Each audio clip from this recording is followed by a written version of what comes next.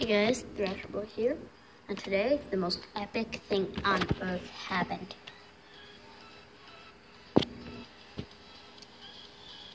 I found a friggin' Mew.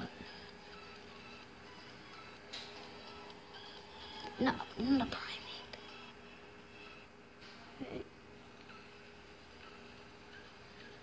Friggin' Mew.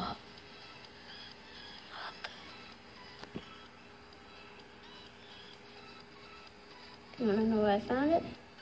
Found it right under me.